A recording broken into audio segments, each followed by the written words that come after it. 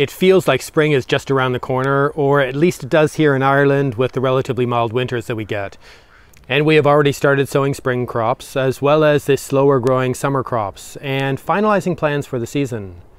Every year I try to grow more and to explore more and to develop additional growing spaces while trying to maintain and hopefully improve the existing gardens and other developed parts of this Red Gardens project. Some years I am more successful at that than others. This season, with the help of Chris, most of the existing growing spaces are in great shape already, and we have plans for significant new developments, as well as strategies for refining and progressing all of the existing gardens. And assuming we're not taking on more than we can manage, it's going to be a busy and interesting season of exploration.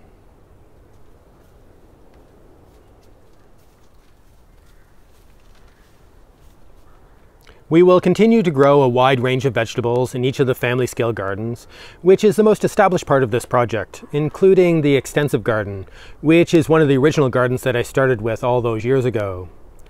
The method that I'm following for this 100 square meter growing space is focused on improving the nutritional quality of vegetables by giving all of the plants lots of space and a lot of focus on providing them with balanced and abundant fertility.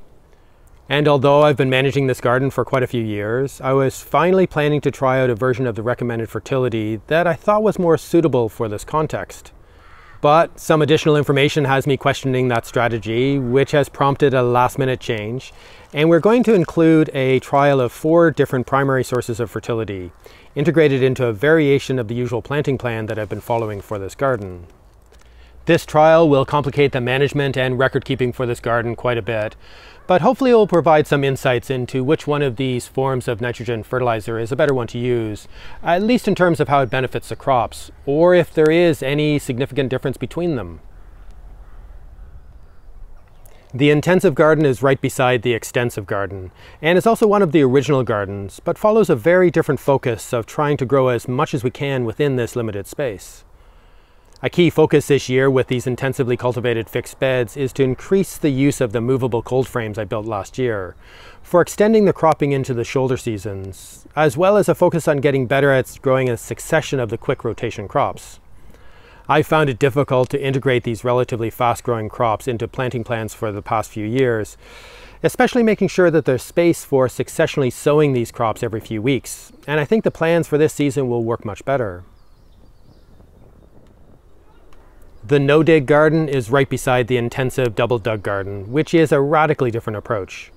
This no-dig garden was problematic for quite a few years, but we recently made a shift to a different no-dig method, and it seems that the soil is starting to settle into greater productivity.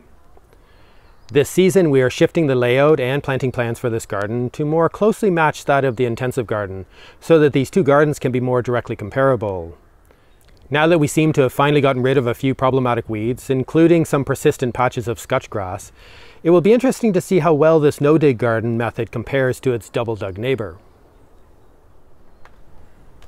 I think the polyculture garden is going to be the garden with the most learning possibilities this year, and will likely continue to be the garden with the most failures. But that is to be expected with so many variables and options, combined with a lack of experience of others that I can build on.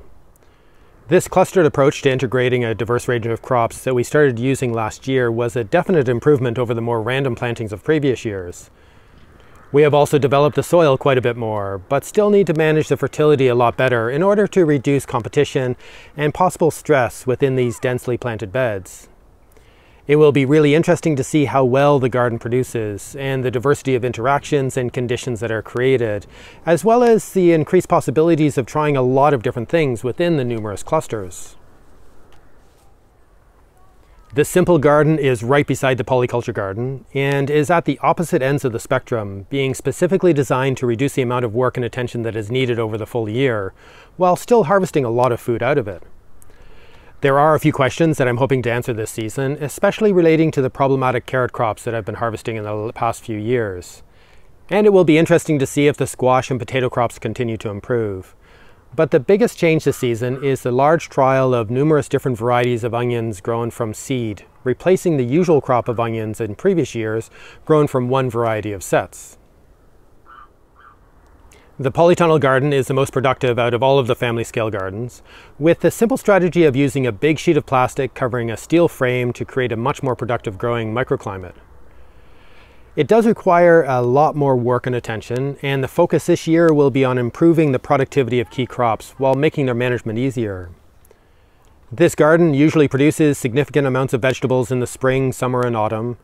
but in the past few years I haven't been great at focusing on the overwintering and early spring crops that are possible in a space like this. But the plan this season is to keep up with the plantings and management right through the entire year to further improve the yield and success of this garden. There is a seventh family scale garden, the perennial garden, which I rarely talk about because it has essentially failed, or I've failed to adequately manage it, and it has become overgrown with scutch grass and other persistent weeds. So this year I'm going to transplant many of the fruit bushes, globe artichoke, rhubarb, and other perennial plants to more appropriate locations, and then edge and cover the full garden for at least a year to eliminate the weeds. My plan for next year is to start to use this growing space to explore methods of managing a garden with the bare minimum of external inputs, where all of the fertility and soil building is done through green manures and cover crops. But we need to get rid of the weeds first. But while this garden is covered, I plan to use the space for a large pot trial, exploring different amendments, growing medium, and fertility management methods in a fairly controlled exploration. I invested in a lot of very large plastic grow bags, which will be filled with soil, compost, and different types of amendments. And for the first part of the season, they will grow the same variety of potatoes. These heavy bags will weigh down the ground cover fabric in this garden and hopefully start to provide me with some answers about the relative value of using different composts, biochar, concentrated amendments, and soil conditioners, as well as the possibility of some non-soil based growing medium.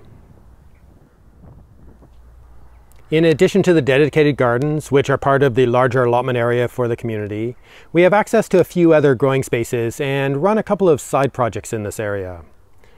We will be continuing with the One Rule community composting facility, recycling materials from the gardens and the biodegradable waste from quite a few households in the community.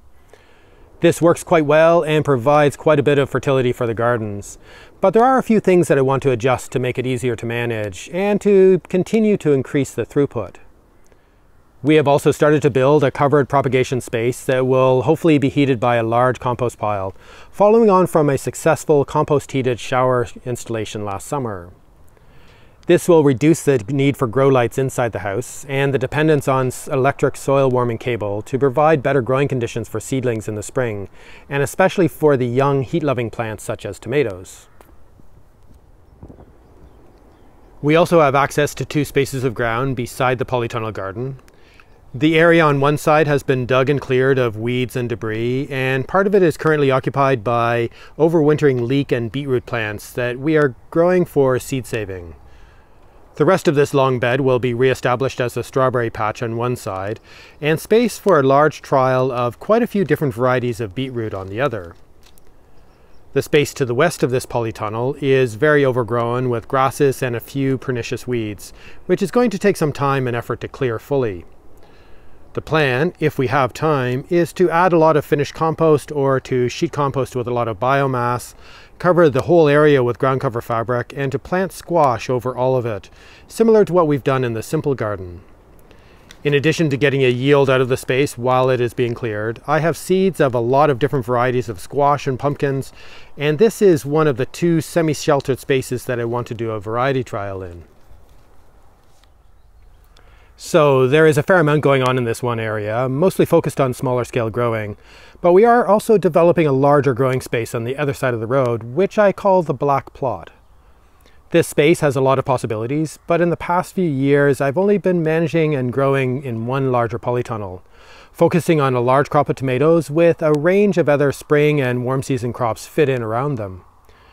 This year, the plan is to grow a succession of spring and early crops in this polytunnel, followed by a lot of cucumbers, beans, and other vigorous plants that benefit from the increased warmth and more sheltered microclimate, including sweet corn and melons, which I don't have a lot of experience in growing. The large crop of tomatoes, as well as the closely related aubergines and eggplants and the peppers, will be growing in a new polytunnel of the same size that we put up last autumn, with Chris putting in a lot of work over the winter to clear and establish the beds and to cover them with a deep mulch of compost. Rather than planting these beds with spring crops, we decided to keep them empty for the few, next few months, keeping them covered with ground cover fabric to make sure any remaining weeds don't regrow. This will allow us to transplant the warm season crops into the ground much earlier than we've been able to in the past, and it will be interesting to see how this affects their growth and their yield. The three central beds will be planted with a range of varieties of tomatoes, and we will be trying out and comparing several different methods of pruning and supporting these plants. The two side beds will be growing a range of different varieties of aubergine and peppers to see which ones are more suitable to this context and which ones we like to eat. Apart from the two fully established polytunnels, there is a lot of other space that we can grow on in this area, but which first needs to be cleared or heavily mulched, and all of this depends on the amount of time and capacity that we have. In the past few years, developing and managing these larger spaces of the black plot has had a lower priority for me, and I prefer to spend my time on managing the family scale gardens, as I haven't felt that I've had the capacity to be able to deal with these larger spaces. But with everything else largely under control and feeling enthusiastic about the season, we've already started working to bring new areas into production. We have covered the space in between the two polytunnels with ground cover fabric, held down by more of the large grow bags. The plan is to convert the space between the two polytunnels into a series of no-dig beds for quick rotation crops, but I'm not sure that we're going to be able to do that this season. For the time being, it will be the site of another pot trial with another set of large grow bags filled with leftover municipal compost to hold down the ground cover fabric. We are planning to experiment with adding different types of concentrated amendments, fertilizers, and liquid feed in order to see which ones are more effective at boosting the growth potential of this fairly low quality bulk compost. For the first part of the season, we will be using these bags to grow early seed potatoes that are left over from the other gardens, some of which will start inside the polytunnel. After the potatoes are harvested, we might empty the grow bags and use the compost to establish the no-dig beds in this space between the two polytunnels, or we might decide to continue to grow other vegetables in this grow bags with the same material to continue to explore the possibilities of using these large movable containers as part of a larger growing operation. On the other side of the new polytunnel is a large area that we hope to get established for crops this season. On one part of this space, closest to the polytunnel, we are planning to grow the other half of the squash variety trial, using sheet composting and ground cover fabric to see what squash varieties produce well in this climate while clearing the ground for next year. In the other half of this space, we're going to set up a proper trial of different methods of establishing and managing a no-dig growing space. I've wanted to do this for a few years, but finally feel we have the capacity and have collected enough of the different mulch materials to adequately prepare five sections with different no-dig methods. The plan is to establish four or five long beds across all five methods, which will be planted with a range of crops later in the season and for the next few years. In addition to hopefully growing a lot of high quality vegetables, this side-by-side -side comparison should provide us with a much better understanding of the benefits and issues of this range of different no-dig approaches, at least in this context. So that is a lot of different stuff that we're planning to do this year. I usually don't make videos about what I'm planning to do in the different parts of this Red Gardens project, preferring to focus on the things that I've already done and experienced.